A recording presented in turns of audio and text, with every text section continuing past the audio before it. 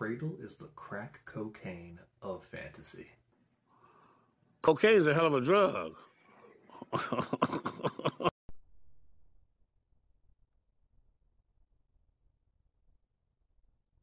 Be more than human.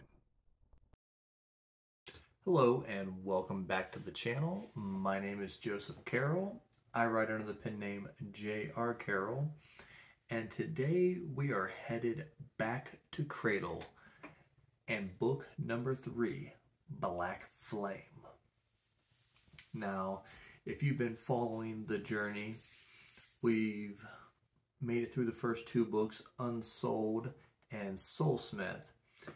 And we're following our main character, Lindon, as he progresses in this progression fantasy um, towards his goal of ascending to a high enough level to save his home in Sacred Valley.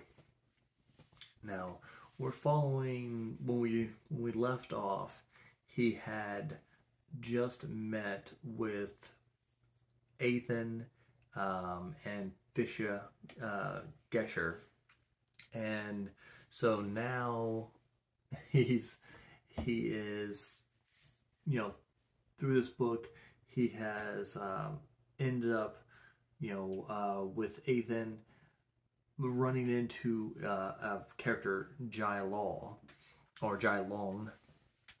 And he is tasked with having to fight him in a in a year because he accidentally killed one of his clan members um, in the scuffle at the end of, uh, you know, Soulsmith. so this book is basically uh, him training through uh, most of the book.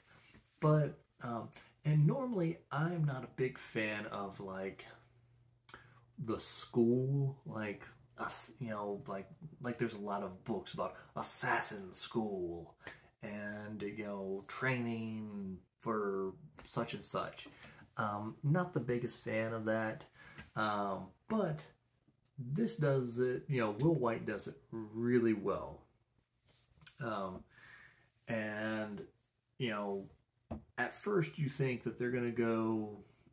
Yerin and Lindon are going to go on two separate paths um, through this. And at first, they, they, they kind of do. Um, you know, she's kind of off doing her own thing. And, um, you know, Eithan has uh, Lindon kind of do you know, doing his own thing. But he, um, you know, he's starting to progress, you know, quicker here. And Eithan finds this little you know, the, he has his thought, and there is a old like system that's not used anymore, which is the way of the black flame. And there's an ancestor of, of them because they used to be dragons, but there's this turtle. He's like a huge turtle. Like the turtle's like the size of a horse, and somehow he's a descendant uh, or part dragon, and he breathes flames and stuff. And the um, but something about the black flame is like burning him from inside, burning his soul. And um, Eithan and his people will come in and feed feed this uh, turtle like uh, pure, you know, pure energy or whatever kind of helps purify him a little bit. And that's the thing about Lindon is he has the two, um, the two, you know, cores, two souls or whatever inside of him. And one of them is like pumping out pure energy. You know, he hasn't chosen one way or the other. And so Eithan bonds the turtle, uh, whose name is Orthos, who is you know, kind of low key hilarious in just the way he talks. You know, he's kind of got that like, know, I'm ancient, super powerful. He's like, you're all puny, and you know, and of course, Lindon in all these books is very um, kind of demeaning to himself to his superiors, and Orthos is like kind of likes that. He's like, you know, he's like, yeah, you know your place. I, you know, I will help you, puny human. And so they kind of do this thing where they kind of merge, and Orthos flows his energy in, you know, into Lindon and powers him up really quick. He gets, you know, goes from, you know, goes up to Jade real quick and eventually makes his way into the low gold.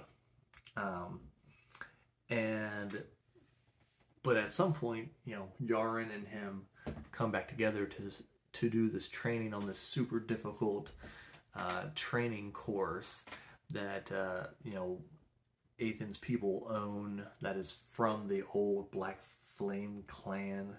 Um, and so, you know, they it's supposed to be for like five people, and so and they're all golds, but of course, Yerin's a low gold, trying to make her way up to true gold, and then you have Lindon, who's only a, a jade by this point, and they're like just getting beaten up, beaten up through this whole thing. Um, while Eithan, uh, who is also a hilarious, he's kind of like a, he almost strikes me as kind of like a Marvel, like Loki type character. Like he's super powerful and he knows it and he's kind of an asshole in a way. Um, but he's, but he's, he's, you know, he's an awesome character and he ends up, you know, fighting like this whole other clan by himself and but while he's doing this, he is basically telling Yerin and Lindon, you know, I expect you to keep keep training even though the whole freaking world is exploding around you. Which just makes everything even more hilarious. But you know, the way this you know, this this book series is kind of set up is like, you know, it's progressive fantasy. You would think, well, it's all gonna it's all to kind of be super formulaic and you're you know you're to get tired of after a while but Will Wight just knows how to just lay certain things out that'll just keep you wanting to go through and you know because we're we've kept the same couple characters through these two books it's giving you that time to get to know these characters and these books are so short that you just want to blow through them and honestly, if I didn't have, if I didn't, you know, if I wasn't in the, you know, pro- process of doing a couple other series actively, I would just binge this whole series in a month. I mean, I, you could probably, I, you know, there's set six books, you know, now because I think the eleventh just came out. I, I do the whole six in one, you know, one month if I, um, and that wouldn't be that hard. Um, but I got other books to do. Um, so I'm, you know, going to one or two a month. Um, but this is an amazing book series. I am super happy that uh, I listened to Michael Knipp, one of the best booktubers out there. I'm glad I listened to him, and uh, yeah, this is uh, this is going to be an ongoing thing. I, I just I feel like they're only going to get better, and let me know if you are into Cradle. And if so, let me know what you think about the first three books here. And um, make sure you hit that like button, subscribe. Um, trying to push out more content here over the next few days. And I'll see you in the next one.